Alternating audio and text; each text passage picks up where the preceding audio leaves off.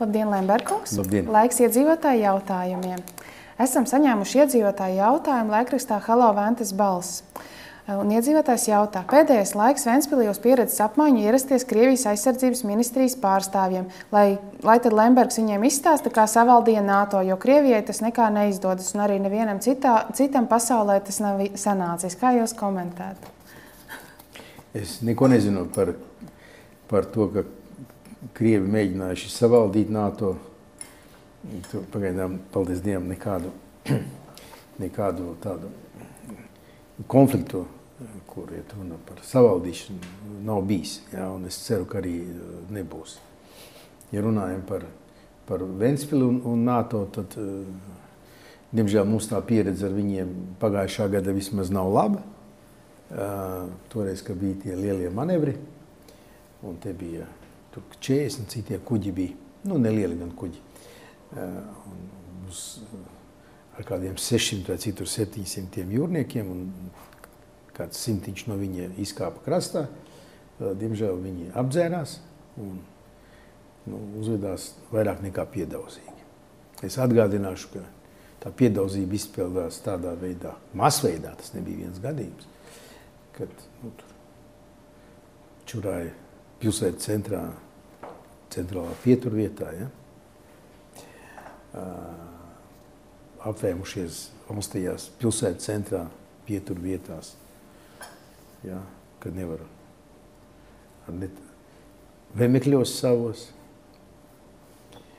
Nu, un, protams, tur kronis visam bija, ka divi apdzērušies jūrnieki ieiet kafejnīcā un uzstāties priekšā. Es atvainojos to salīdzinājumu jūs ar savu vīru, teiksim, esat kafejnīcā, ir piekdienas vakars, jums ienāk divi apdzērušies jūrnieki, novelk bikses un rāda savus dzimumu locekļus. Nu, kāda jūsu kunga reakcija būtu? Un jūsu pašu jūs būtu tā ar sajūsmu aplaudēt un teikt, jā, jā, lūdzu, demonstrējiet un tā tālāk. Un tas pie mums tā pieņemts ir, Un Nīderlandē ir tā pieņemts. Varbūt pie viņiem pieņemts, pie mums tā nav pieņemts. Pie mums to nerāda. Varbūt pie ārsta rāda. Varbūt.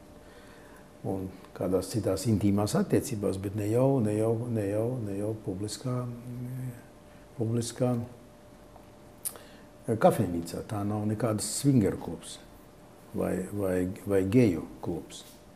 Es nezinu, tur viņi staigā ar biksēm vai bez biksēm. Nu, tas viss kopā, protams, radīja ļoti lielu sašutumu. Un gan Vēnspilniekos, jo to es uzzināju jau no, no, no, no interneta, no, no portāliem. Ne jau es tur, ne jau es tur 12. naktī klīdu pa pilsētas ielām. Un, un tad, protams, tas man izsauc ļoti negatīvu reakciju. Ja, tur arī pa puķa dobes iz, izrausta puķis. Un, nu, attiecīgi es uzrakstīju vēstuli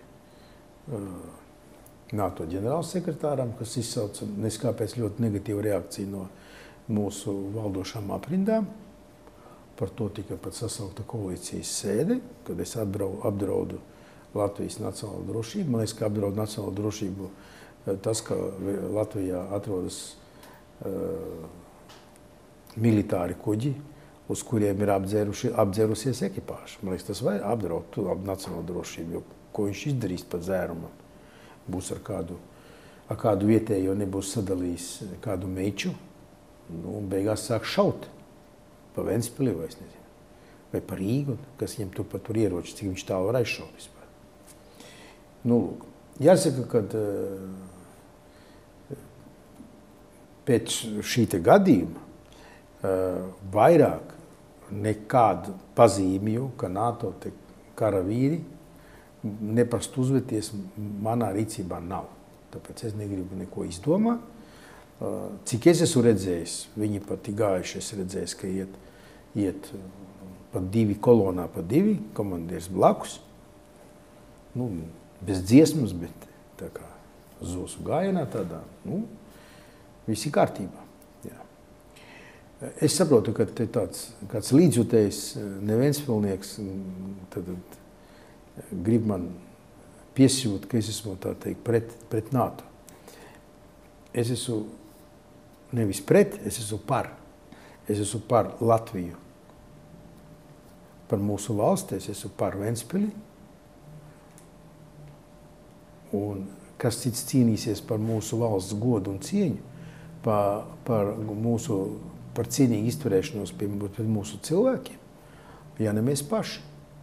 Ja mēs pieļausim, ka lai, lai kāda tā organizācija draudīga, liela būtu, lai cik viņa būtu bagāta un, un, un varena, un cik viņiem būtu kodoli ieroči, tas nenozīmē, ka mums vajag viņu priekšā kaut kādā veidā pazemoties un ļaut sev pazemot.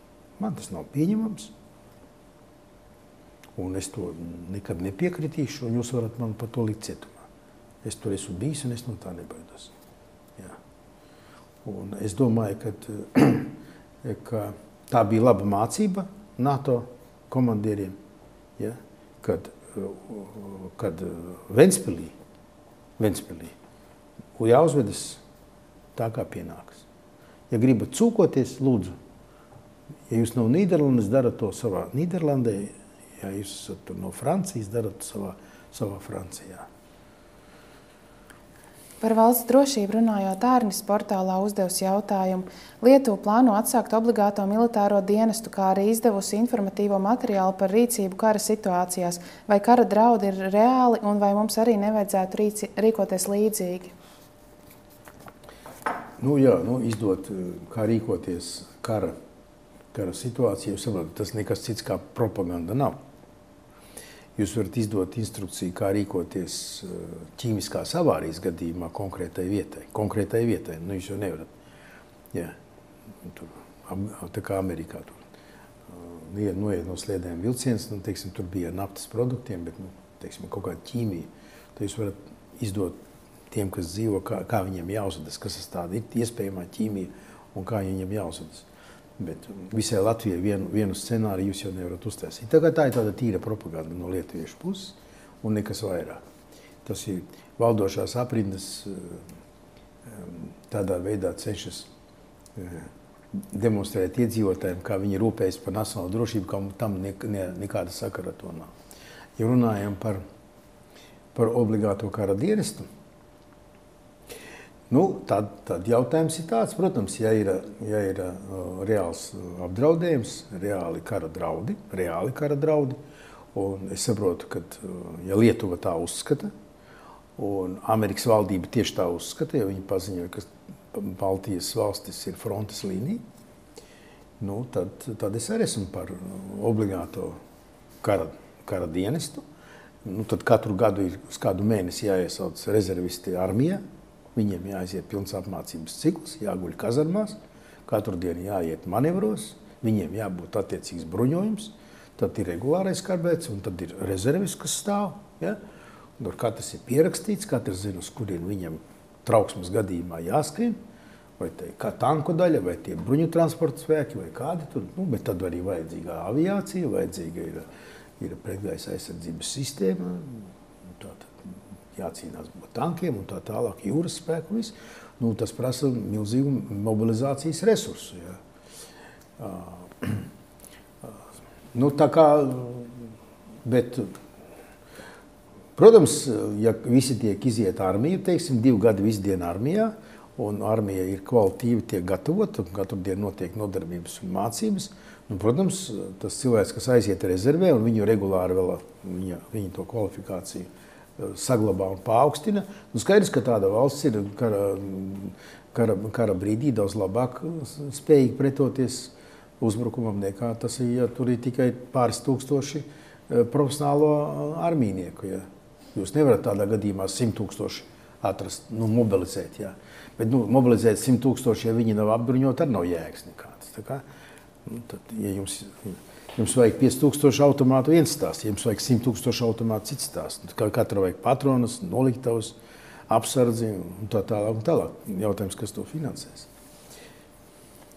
Vēl Halo Ventas balss uzdots jautājums, vai tad Aivars Lembergs nevarētu palīdzēt atrisināt jaunu ceļa būvniecību Ventspils Rīga? Ko viņš vispār domā par šo ceļu, par līkumiem pie Ugāles? Un, vai, un, un tas vispār atbilst kādiem Eiropas standartiem? Nu, ļoti slikts ceļš. Nu, tas cilvēks, kas jautā, mm, droši vien, ka viņš jau to īsti nezina, bet viņš jautā pareizi. Tas ir E22 ceļš.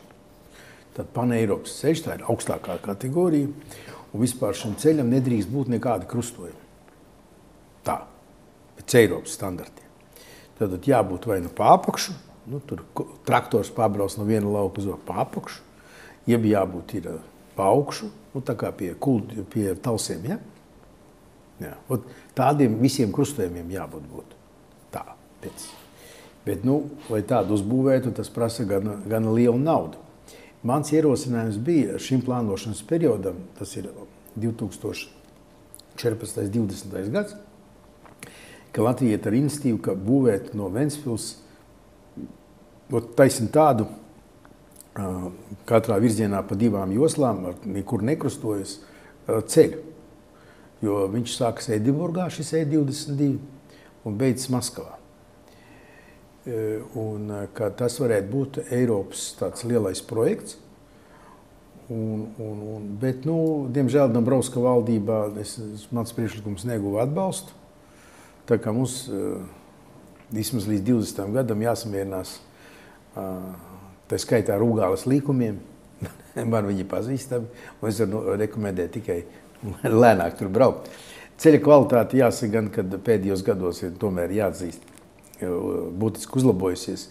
Un, ja neskaita tas posms te pirms Ventspils vēl viens, tad nu, kopumā jau tas, nu, vismaz es, braucot uz Rīgu, varu strādāt. Tas nozīmē, es varu rakstīt un es varu lasīt. Ja? Tas jau ir labi. Nu, protams, jābūt mašīnai gana diezgan mīkstai, ja? nevar braukt ar, ar konservuņģu. Un vēl Andris portālā jautā, pagājušo nedēļu noskatījos Ventas balss video top 5 nedēļas apskatu, un tur bija interesants stāsts par bumbu patvērtni pie domas. Vai šo interesantu objektu nevarētu izveidot par turisma objektu, līdzīgi kā Liepājas karostas cietums un līgatnes bunkurs? Nu, Līgatnes bunkurs bija Latvijas PSR vadības bunkurs. Nu, tur ir citi mērogi. Jā.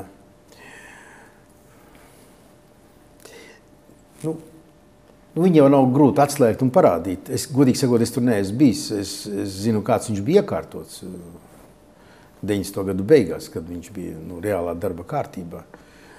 Uh, atklāt sakot, es neredzu lielu vajadzību pēc tā bunkura. Un savukārt uzturēt viņu nu, tādā kārtībā, lai turētu tie turisti. Es baidos, ka tur nebūs to apmeklētāju.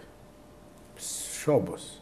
Jo tur īsti nav, nu kas tur zem zemes, nu biezākas durvis, nu telpas, tur kāda klašu telpa un tā, nu, nu tai, nu, tai, part, nu, tai vadībai, kas te bija partijas komiteja un tur Raņielā, nu tiem tad vajadzēja pārvākties uz to bunkuru. Nu, nu nekā tur.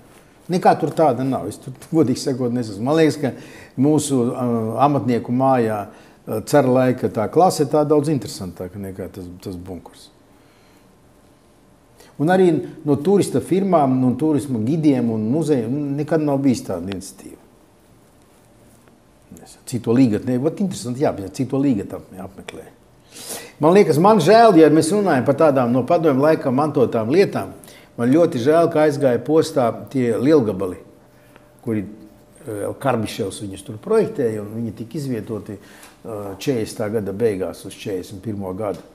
Viņi bija dzīvi vēl, es, es vēl viņus redzēju Ventspils rajonā. Nu, milzīgi, milzīgi, milzīgi un stobriem. Nu, tur, tur bija ko redzēt, ja. Nodeva metālu uzņos. Tas man žēl. Jā. Labi, paldies par jūsu atbildēm. Tiekamies nākamajā reizē. Paldies, Zeļa.